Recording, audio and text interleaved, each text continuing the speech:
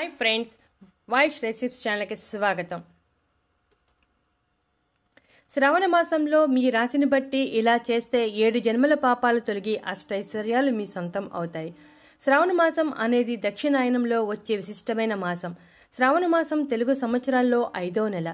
పౌర్ణమి రోజున శ్రవణ నక్షత్రం అనగా చంద్రుడు శ్రవణ నక్షత్రంలో కలిసిన రోజు కావున ఆ నెలకు శ్రావణం అని పేరు వచ్చింది.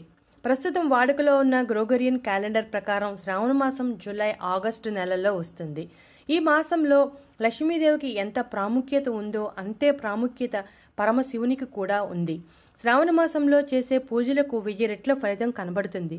శ్రావణ మాసంలో సోమవారం శివునికి అభిషేకాలు ఉపవాసం వంటివి చేస్తే ఏడు జన్మల పాపాలు తొలగి అష్టైశ్వర్యాలు మీ సొంతం అవుతాయి. పాల సముద్ర మదనం శ్రావణమాసంలోనే జరిగింది. అప్పుడు శివుడు గరళాన్ని స్వీకరించి నీలకంఠుడుగా మారినట్టు పురాణాల్లో చెప్పారు. శివునికి అత్యంత ఇష్టమైన మాసాల్లో శ్రావణమాసం ఒకటి. మేషరాశి వారు శివునికి ఉమ్మెత్త పూలతో పూజించి ఆవు పాలు పెరుగుతో అభిషేకం చెయ్యాలి. ఓం నమశివాయ మంత్రాన్ని నూటెనిమిది సార్లు పఠించాలి.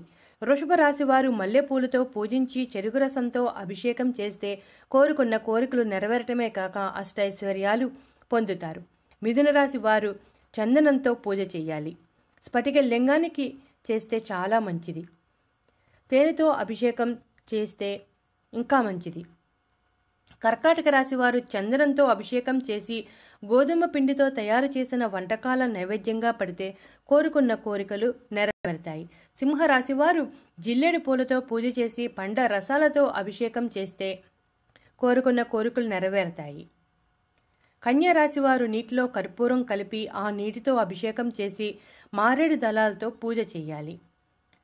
తులారాశివారు మల్లెపూలు బిల్వ పత్రాలతో పూజ చేసి చందనం కలిపిన నీటితో అభిషేకం చెయ్యాలి వృచ్చిక రాశివారు ఆవు నెయ్య లేదా తేనెతో అభిషేకం చేసి గన్నేరు పూలతో పూజ చేయాలి. ఈ విధంగా చేస్తే అనుకున్న కోరికలు నెరవేరుతాయి. ధనుసు రాశి వారు డ్రై ఫ్రూట్స్ నైవేద్యంగా పెట్టి గులాబీలు బిలువ పత్రాలు నీటిలో కలిపి ఆ నీటితో అభిషేకం చేస్తే కోరుకున్న కోరికలు నెరవేరటమే కాక అష్టైశ్వర్యాలు పొందుతారు. మకర రాశి వారు నీటితో అభిషేకం చేసి తెల్ల జిల్లెడు పూలతో పూజించాలి. ఇలా చేస్తే వారు కోరుకున్న కోరికలు కో నెరవేరుతాయి. కుంభరాశి వారు నువ్వులతో అభిషేకం చేసి తెల్లని పూలతో పూజించాలి. ఇలా చేస్తే వారు కోరుకున్న కోరికలు నెరవేరటమే కాకుండా అష్టైశ్వర్యాలు కలుగుతాయి. మీనరాశి వారు రావి చెట్టు కింద ఉన్న శివలింగానికి బిల్లవ పత్రాలతో పూజ చేయాలి. చూసారుగా ఫ్రెండ్స్ శ్రావణ మాసంలో మీ రాశిని బట్టి ఏ విధంగా చేస్తే ఏడు జన్మల పాపాలు తొలగి అష్టైశ్వర్యాలు మీ సొంతం అవుతాయో మీరు కూడా ఇదే విధంగా అభిషేకం పూజ చేసి ఈ ఫలితాలన్నిటినీ పొందండి. ఇటువంటి ఇంట్రెస్టింగ్ టాపిక్స్ కోసం మా ఛానల్ సబ్స్క్రైబ్ చేయడం మర్చిపోవద్దు.